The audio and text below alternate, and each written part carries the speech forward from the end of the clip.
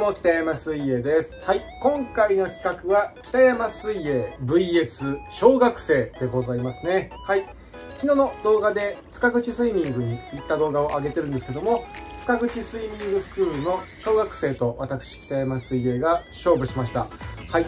まずは小学生7人 VS 北山水泳ということで、えー、7人なんで 50m ずつかける7で、えー、350m の対決でございます。僕北山水泳は 350m を泳ぎます。で小学生は 50m×7 人でリレーをします。っていう感じですね。はい。一応言っときますが塚口スイミングスクールの小学生は普通にジュニアオリンピック半分以上が行ってるようなチームですね。はい。今回は56年生と勝負しました。こんな感じです。どうぞ。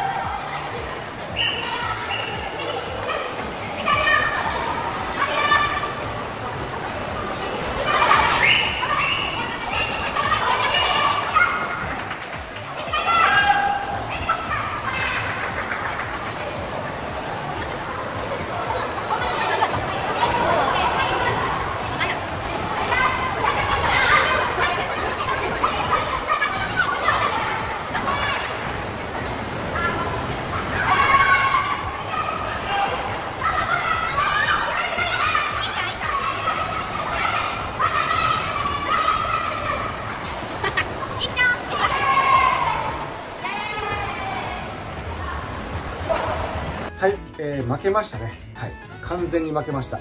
ただ、1個言い訳させてほしいのが、僕、ウォーミングアップしてません。はい。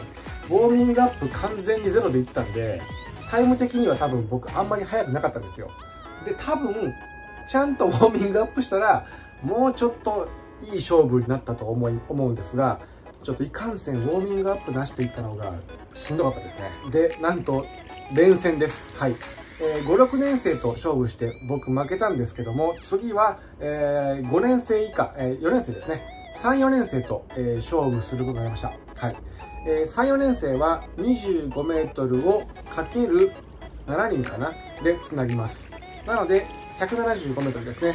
僕、北山水泳はえー、350メートルマックスが終わった直後に、えー、175メートルマックスで今からやります。で、え、小学生は25メートルをかける7人でつなぎますっていう感じですね。はい。連戦です。はい。こんな感じでした。どうぞ。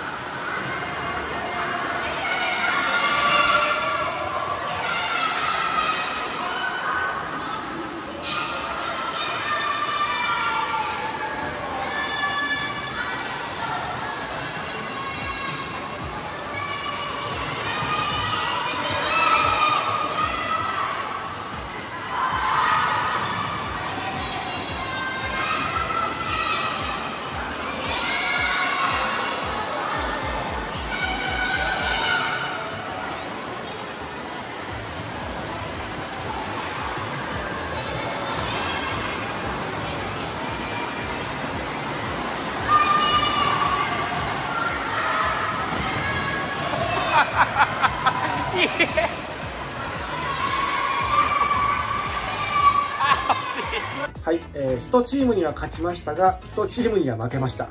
はい。これ連戦やばかったですね。はい。めちゃくちゃきつかったです。はい。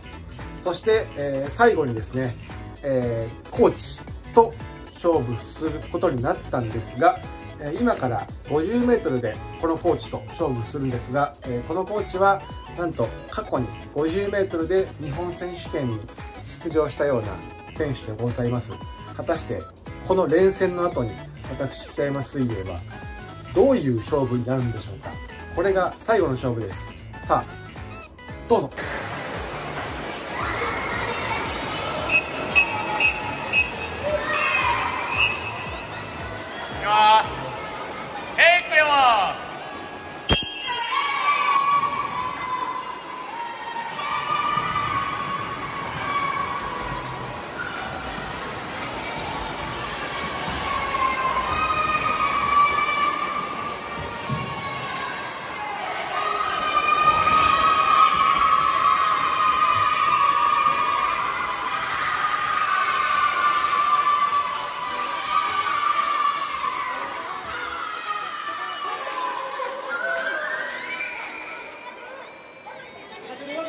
はい、今回以上でございました。はい、塚口スイミングスクールの皆様、本当にありがとうございました。はい。まあ、勝負的にはね、あのー、惨敗でございましたが、はい、それだけ塚口スイミングがかなり優秀なチームということが分かりましたね。